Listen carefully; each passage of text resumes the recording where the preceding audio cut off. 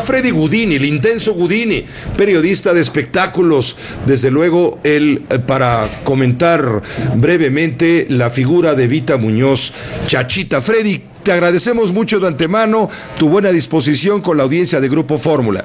Es un placer hablar de una amiga, además, una amiga que siempre se preocupó por los amigos, que nos llamaba por teléfono siempre para saber cómo estábamos. Eh, una de las grandes estrellas del cine de la época de oro es Evita Muñoz Chachita. Eh, esa película de Nosotros los Pobres se escribió especialmente para Chachita, no para Pedro Infante. El, primer crédito es para Chachita y después venía Pedro Infante. Eh, ese fue el gran éxito del cine mexicano, es la película más popular del cine mexicano. Ella tuvo una trayectoria de primera, le tocó eh, figurar, no le gustaba que, la relacionaran con Pedro Infante, incluso en la última telenovela que la obligaron a hacer, que ella no quería escenas en el panteón con Pedro Infante, eso ella no quería y ella fue y dijo, aquí está mi renuncia, no puedo seguir haciendo esto y se fue de la telenovela, no estaba a su altura, ella venía de, de grandes cosas, eh, gran comediante también, actriz dramática, ni se diga, nació para la actuación, ahí están esas grandes películas que desde chiquita, ¿no? Después en la adolescencia, eh, actriz de teatro, donde siempre se llevó los aplausos entregada. Oh, ¿Qué te puedo decir? Que el, creo que Evita Muñoz Chachita está en el corazón de todos los mexicanos, eh, de todas las generaciones. Sí, es una parte de nuestra memoria eh, cinematográfica, esta película a la que tú te refieres, Nosotros los Pobres. Yo no sabía que había sido escrita para ella, porque hoy, la memoria recuerda, claro, a Pedro Infante y los demás. fue, para, fue para ella, se llama, estaba basada en una radionovela que se llama Una tumba para llorar.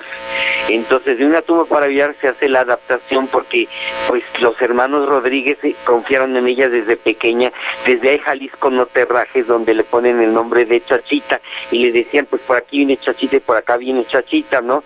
Ella hizo, este, para elegir a su galán, hizo un casting de 100 chavos para elegir al Pichi como galán de, de ella, ¿no?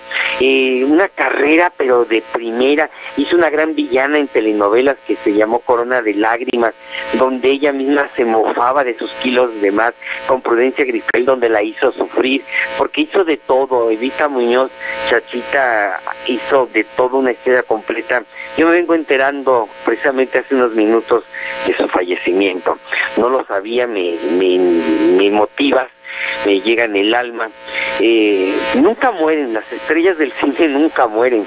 Eh, Chachita siempre va a estar en el corazón de todos y sigue una de las grandes divas del cine mexicano.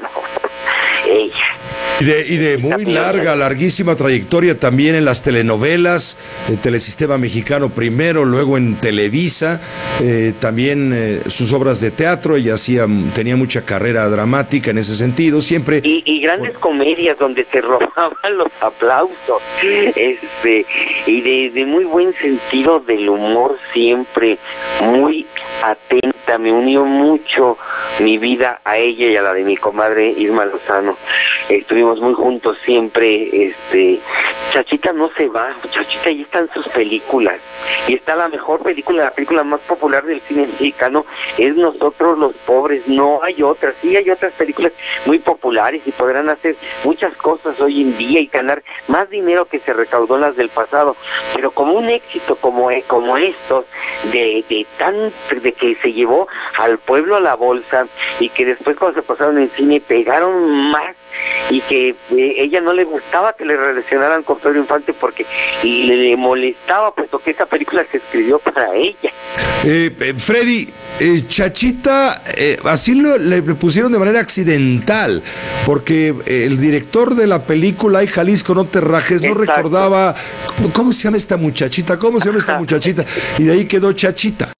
Y que ahí sale ella, hecha una, una, una niñita pequeña, este sí, una, una niña que viene a establecer que pues que sí hay niños que nacieron para la actuación, porque todavía me, dicen gente, ay, pero ¿por qué llevan a los niños a actuar? Pues que hay niños que nacieron para esto, y ella tuvo los grandes medios y le tocó el gran apogeo del cine cuando pagaban muy bien, cuando teníamos cines para exhibir nuestras películas mexicanas, cines como en Florida donde entraban 7.500 personas a llorar con nosotros los pobres por función, ¿no?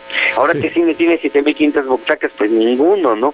Una gloria del cine mexicano, eso sí, ya que hay que aprenderle muchísimo, principalmente el profesionalismo. Yo todavía la tuve en un programa que hice sobre villanos, donde fue a hacer una entrevista a Televisa. Fue la última vez que acudió a Televisa, la llevaron en silla de ruedas y fue especialmente conmigo para platicar de, de, algo que le preocupaba mucho, ver que el sistema artístico ya no era lo mismo, que ya no había brillo, que ya no había talento, que ya no había ese gran cariño con el que se hicieron las cosas y que todo era ya muy mecánico. Y precisamente con ese gran cariño es el con el que ha conquistado Chachita y conquistó a las audiencias. Pues Freddy, Freddy Gudini, te agradezco mucho el haber tomado a bote pronto el teléfono y ayudar a la audiencia y a nosotros, desde luego, a dimensionar el tamaño de Evita Muñoz Chachita, bautizada así por Ismael Rodríguez desde hace casi 70 años. Dios la tenga en Santa Gloria. Pero Chachita está en el corazón de todos y siempre va a vivir. Claro. Siempre en el corazón de todos los mexicanos mientras escuchemos Amorcito Corazón. Muchas gracias, Freddy Gudini, el intenso Gudini, como siempre. Un abrazo. Muy apreciados con tu comentario. Buenas tardes. Freddy Gudini, periodista de espectáculos. Hagamos una pausa.